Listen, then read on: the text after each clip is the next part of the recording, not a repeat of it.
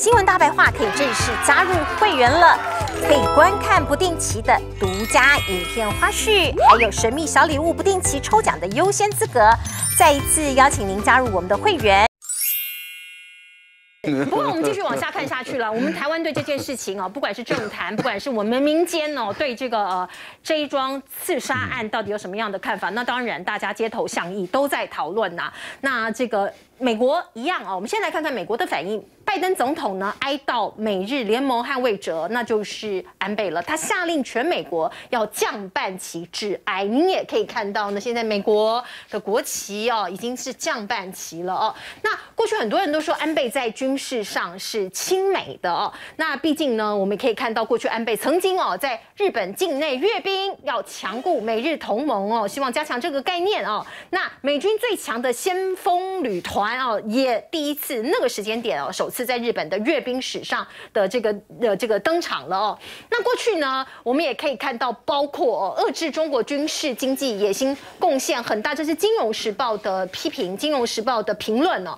他盛赞安倍说他的远见哦。催生了 QUAD 哦，就是这个四方安全会议啊，因为这个他可能觉得说中国有扩张哦，所谓军事上面的野心哦，所以催生了 QUAD。拜登认为美军保台哦，这个拜拜登上一次哦来访问亚洲的时候，大家记得吗？在五月份的时候，在日本接受媒体访问的时候，突脱口而出说，如果中共犯台的话哦，日本。呃，美军美国会这个派兵哦，那个时间点之后啊，美国白宫不是又说了那个是一个口误吗？安倍晋三说不是失言呐。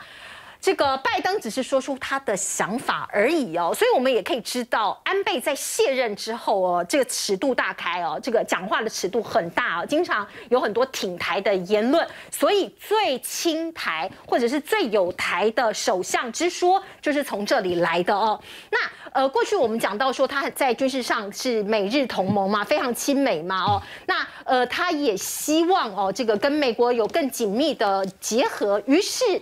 有人问他说：“如果美军撤离有没有可能？”他还说：“这不可想象哦，他觉得万万不可啊，美军不可以撤离这个日本。”可是我们也可以看到他在任内的二零一六年，日本曾经爆发大规模的反美抗议啊，那有总共六万多民众聚集抗议，甚至在东京，您看到首都哦，聚集了七千人哦，在东京议会大厦前面示威，希望哦安倍的军事政策啊哦不要往。下走哦，因为安倍感觉上包括要修宪，包括一些安保的这个条约，各种的条约都认为哦，呃，可能有点太造进了，或是有点野心太大了。那安倍的亲美政策其实呢，也不是那么的顺利哦。有一说啦哦，过去在川普时代，安倍好几次包括小白球外交哦，像这样的场域啊，都受到川普某种程度的羞辱啊哦。那我们举几个例子哦，包括这个安倍跟这个。川普建立情谊打小白球嘛哦，那那一次我印印象非常深刻，安倍还跌了一跤哦。那可是得到的结果啊哦，这个川普对安倍其实没有那么留情面，包括日本人质的问题，那次的讨论也被搁置了，还有。这个进口钢铝制品的这个征税哦，这个豁免权，日本也没有在名单上面。还有在加拿大的 G7 的峰会上面，川普其实对安倍没有这么这么的友善哦，还可以还说了一句话，说我可以移送两千五百万的墨西哥移民到日本，让安倍可以快点下台，就用一种开玩笑的方式讲出来嘛。可是对于日本人来说，听起来真的不是滋味啊。我们刚刚一直不停的在提的修宪，修的是什么宪？就是日本和平宪法哦，第九条。那安倍其实呢，呃，也一直在倡议这件事情，就是和平宪法，他认为已经过时了，应该把自卫队纳入宪法的第九条，并且增设紧急事态条款哦。那这件事情在日本国内当然引起有正跟反很多不同的意见嘛哦。可是安倍死后呢？会不会加速这个修改宪法有望，或是更加速它成功呢？哦，那日本跟美国还有中国，甚至我们台湾的关系有没有变化？其实大家都在看，也都在这个呃这个观察当中啊。安倍离开了哦，遇刺身亡。中国大陆学者说，有可能会加剧日本政坛右倾哦，就是更往右边来倾斜了哦。因为毕竟，毕竟他离开了，而且是用这样的方式离开，可能大家会更团结右派这个部分。岸田、志华、萧规、曹随，大家都说。岸田哦，他就是呃，怎么讲呢？是小老弟吗？哦，后头有人在指点江山吗？那如果这个指点江山的人离开了哦，他是不是就可以更做自己呢？或者是利用安倍的死亡争取人心，扩大影响力呢？哦，这个都是有很多很多的铺陈跟很多的揣测。也有学者说，每一次岸田他可能要挣脱那个智库哦，呃，这个想要对中国友好的时候，安倍就会。呃，很巧妙的，或者很巧合的哦，提起了台湾问题。譬如说，哎，台湾有事，就是等于日本有事，台日友好等等点点。这是有一派的说法，认为哦，岸田其实被牵制哦，被安倍给牵制了。如果这个牵制力量消失了，是不是日本跟？大陆的关系就会和缓呢？哦，这是有人的这样子的一个揣测或者是一个说法。那安倍死后的台海局势会有什么样的变化呢？哦，那我们可以看到呢，包括前日本首相安倍遇刺身亡哦，将决定日中台未来的走向。这是美国知知音的标题哦，呃，这个。政坛上面或世界上面讨论的方向都是这样。那也有一个中国学者说，安倍的遗产就是加剧遏制中国。他认为安倍的这个看法跟想法，这个方向还是会继续讲，就是压制中国。这个日本跟中国的关系难道回不去了吗？我们来看看过去在二零一五年，当安倍还是首相的那个时间点呢，其实有很多民众涌上街头哦，对他产生一些抗议跟不信任，希望他下台。为什么？因为那个时候安倍呢，他要。通过一个新安保法，也是在军事上面的一个新的安保法，对日本民众来说，他们希望和平，他们希望不要有更动现状，或者是朝一个普通国家，又或是正常国家这个方向走。国内有很多不一样的看法跟想法，而今天天美国总统拜登会跟岸田文雄举行一个电话会谈，那美中日的关系变化是不是两边的会谈里面会提到呢？以及包括你可以看到呢，呃，前一阵子的报道哦，美国、日本秘密在中国周边部署入击中程导弹，那中国大陆当然很不爽啊，也回呛说日本你将自食二国啊，还有在台海的部分，对岸军机不断的绕行哦，那国防部也说你越接近本岛，反制的力量越强哦，所以美日中台哦，这个很微妙的关系。可能都在变化中，请教赖老师。我们先问一个问题，就是日本的对大陆的政策，以及对台湾的政策，敢不敢走自己的路？不敢的。日本事实上还是追随美国的对大陆政策跟对台湾的政策，所以所以岸田跟这个川这个拜登的通话就是要被指点吗？其实美国是怎么做，日本还是跟着怎么做。嗯。而不是日本引导美国去做，我觉得这一点，我想我们的观众朋友还是要理清楚，大陆的研究员也要理清楚。好，怎么说呢？你看安倍上来了以后，他他的主张还是要缓和、改善中日之间的关系。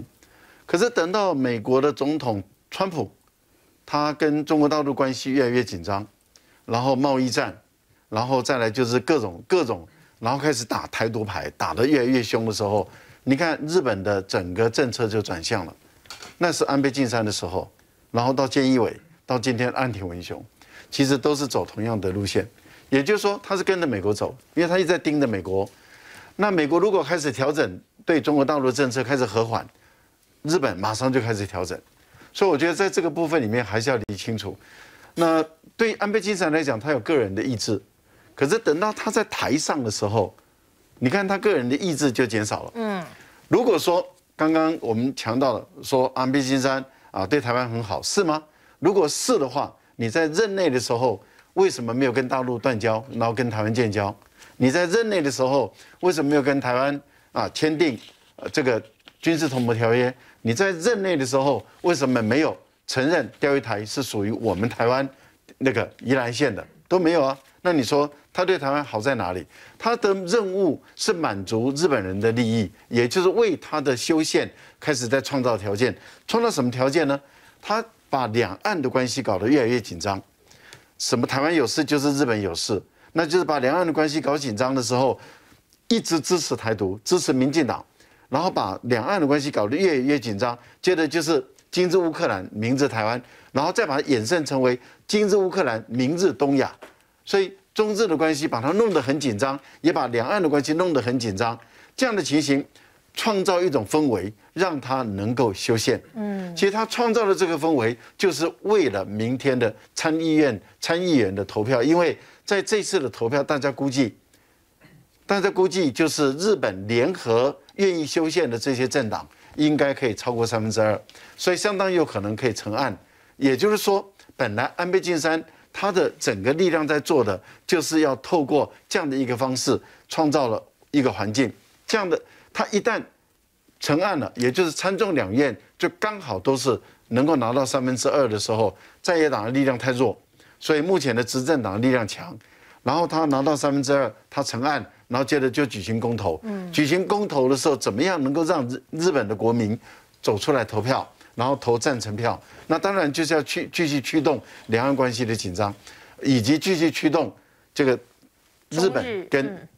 但是问题就在于，今天是岸田当家，岸田他要考虑到的就是目前日本的经济情况很糟，日本的这个失业率已已经一直在浮现。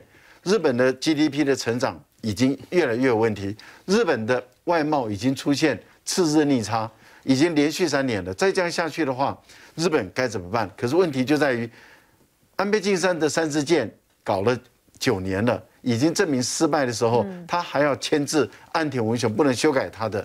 所以我个人是推断了，安倍走了，对于岸田来讲，短时间不会大改，但是我觉得。对岸田来讲，他在国内的政治经济政策方面，他还是要走修正路线。所以未来有可能有一些改变呢，不过是慢慢的改，不会很剧烈的改。不过讲到这个日本和平宪法的修宪呢，如果真的过了，影响是不是也真的非常大？来请教亮哥。你说真的要看他怎么修啊？嗯，那不啦，这个简单讲就是他现在是一定要是集体自卫权嘛。那如果他改成正普通的军队，那就是他对外有战争权嘛？这个其实关键是美国啦，美国要不要放虎出笼啊？让我们用语叫放虎出笼啊，就是美国不再干涉他的战争权呐，否则日本现在是没有战争权的。所以你如果从那个军事主权独立这个角度来看，日本并不是独立国家了。嗯，实际上韩国也不是，因为战争权都在美军手上啊。所以这个就是一个特殊状况嘛。那安倍本来他就是主张强国这一派啦。事实上，自民党有两派啦，就是他这个亲和会的啊，就安倍这一派是主张强国的啊，就是政治跟军事要强大。那岸田文雄是红池派，他是偏向民富派啊，就主张要就像那个吉田茂这样要把钱弄大了啊。可是这两个逻辑是冲突的啊。嗯。就你军事壮大跟经济壮大有时候是冲突的，尤其中日本跟中国就是经济经济还是有一定程度的结合嘛。那你如果造成双边变成军事很紧张，那是不是有利于你的经济发展啊？因为我我看那个日本的 GDP 啊，日本的 GDP 实际上在二零一二年的时候是在六点二七兆啊，六点二七兆美元呐。日本现在的 GDP 才多少？才五兆啊。所以基本上是从二零一二年是一路下降啊，所以安倍所谓三支箭，说第一个叫货币宽松嘛，第二个叫财政灵活，那第三个叫做那个经济转型，第三个完全没有成功嘛，因为你用货币啊，用财政，那政府就可以做了，那可是证明就是没有成功嘛，你只是把股市带到了这个二十六年来的新高，那有什么用？嗯，你经济还是没有转型嘛。所以真正的问题在这里了，不然不然怎么可能你的 GDP 从六点二七兆跌到五兆呢？而且现在还四点九多哎，嗯，那美国是一路成长啊，美国从二零一二年是一路涨到现在，是。到它的最高点，嗯，所以这个就是很明显的对比了。那日本跟呃台湾跟韩国是跟着美国走哦，所以我们跟韩国的 GDP 是。在这十年是迅速往上走，日本是往下跌，嗯，所以安倍的经济学是绝对算是失败的啦，哎，嗯，是来请教伟汉兄。其实我觉得安倍晋三这个事情对台湾来讲，哈，之所以会有那么大的这个冲击，那很多人觉得说安倍对台湾他又不是对台湾有多好哈，大家在网络上面争论啊，我昨天看到网络上很多人在吵这个事情，其实也蛮难过的，何必？他都已经走了。那当然，他是有争议的，包含他去参拜靖国神社，包含他对台湾的一些种种等等。可他现在已经离开了，我们现在去炒这个做什么呢？好，日本也不是每个人都喜欢安倍啊，有很多人对他是不满意的，觉得他太过激进的，这是有的啊，不然不会有几年前有那么多人跑出来在街头认为说他太过于亲美，他太过于把日本也带向了一个他们不想带向的方向。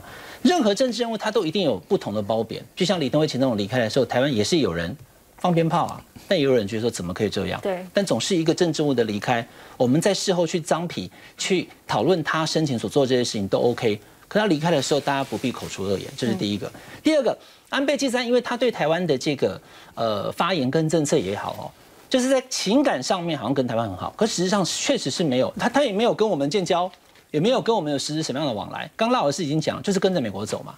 美国要日本跟台湾近一点就近一点，不要那么近，呃，他就他就离开一点。但是安倍至少在很多的口头上面的写台湾加油。